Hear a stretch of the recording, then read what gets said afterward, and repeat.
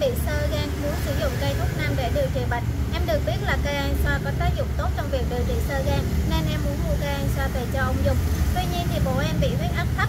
Xin hỏi là người huyết áp thấp thì có thể sử dụng cây an xoa được hay không? Em mong sớm nhận được hồi âm từ nhà thuốc. Em xin chân thành cảm ơn. Chào bạn, cây an xoa là một vị thuốc nam mọc hoang rất là nhiều ở Việt Nam.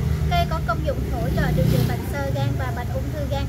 Điều này đã được chứng minh bởi công trình nghiên cứu à, về cây an xoa của các nhà khoa học Việt Nam.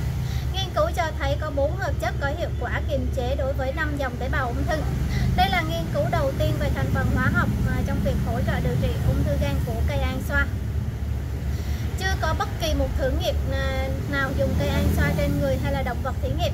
Hiện nay thì việc sử dụng cây an xoa trong à, điều trị sơ gan và ung thư gan thì chỉ dựa vào kinh nghiệm dân gian. Kinh nghiệm dân gian thì bố bạn bị sơ gan thì dùng cây xoa thì sẽ có hiệu quả trong việc điều trị bệnh. Ông bị huyết áp thấp thì ông vẫn có thể sử dụng cây an xoa được. Tuy nhiên thì cũng cần lưu ý một số điểm như sau. Không dùng cây an xoa quá liều lượng, quy định khoảng 30g à, cây khô một ngày.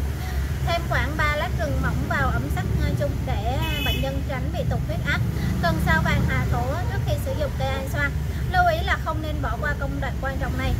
Liều dùng cây an xoa sao vàng hạ thổ là 30g sắc với 1 lít nước, sắc cạn còn khoảng 500ml nước và chia làm 3 lần uống trong ngày. Một số thông tin tôi xin phép được chia sẻ đến với bạn.